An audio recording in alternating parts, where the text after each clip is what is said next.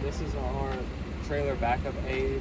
Uh, the purpose of this project was to be a portable device that the user could magnetically attach to the back of their trailer to get distance readings to help them back their trailer up. Um, we use a ping sensor to get to get the distance because it has a range out to 10 feet and the measurements are accurate within an inch and we felt that was a good enough accuracy to use for this project.